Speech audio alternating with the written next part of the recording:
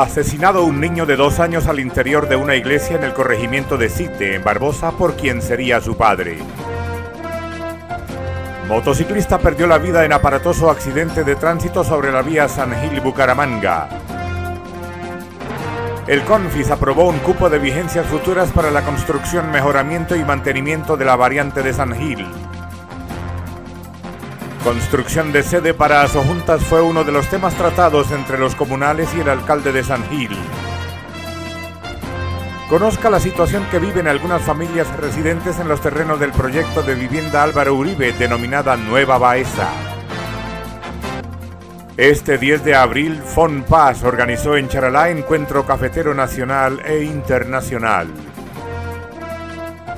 Un menor de edad a bordo de una bicicleta generó un accidente de tránsito al omitir una señal de pare. El 19 de abril en la Cámara de Comercio habrá seminario taller de capacitación para secretarias y secretarios de empresas de San Gil. Un menor de edad fue arrollado por un vehículo tipo taxi. El hecho sucedió sobre el puente de la calle 15 de San Gil. El 11 de abril continúa la celebración del mes del niño. Ese día estará la gestora social departamental en la actividad. Autoridades en el socorro fortalecen campañas para prevenir abuso sexual en menores. Otro ecocidio denuncian los pescadores de Hidrosogamoso. En los deportes.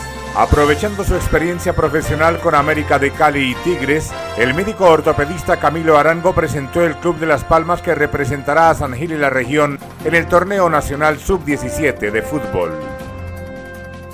Y en cultura y entretenimiento se vivió la primera gala de audiciones de la categoría B de Talento San Gil Plaza.